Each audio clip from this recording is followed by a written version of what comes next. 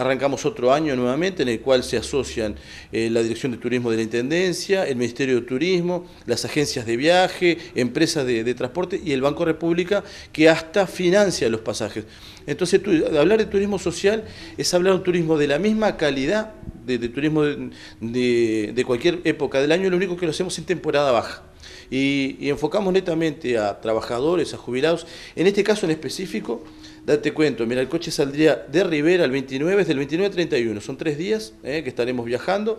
eh, donde vamos a Montevideo, van a estar en un hotel, como siempre, de muy buena calidad, como son los que llevamos,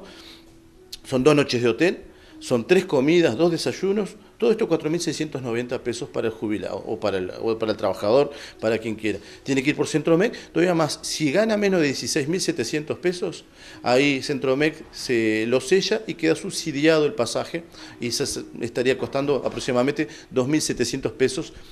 con todo incluido el pasaje, como te dije, los, tres días de viaje, el viaje a Montevideo, las dos noches de hotel, eh, las cenas, el desayuno, los paseos, porque acá lo interesante es eso, eh, muchas veces viajamos a Montevideo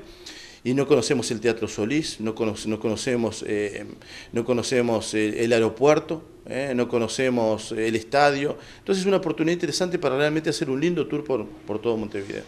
Ultimando detalles para este viaje. Sí, sí, o sea, arrancó ahora, arrancó ahora, terminamos de cerrar todas las puntas, la agencia que está recaudando es J, JL Turismo, que está en la calle Rodocas y Sarandí, ¿eh? y tiene que pasar primero por Centromec, el jubilado que gana menos de 16.700 pesos va por Centromec, lleva su recibo de jubilación, se lo sellamos y, y consigue viajar con el pasaje subsidiado.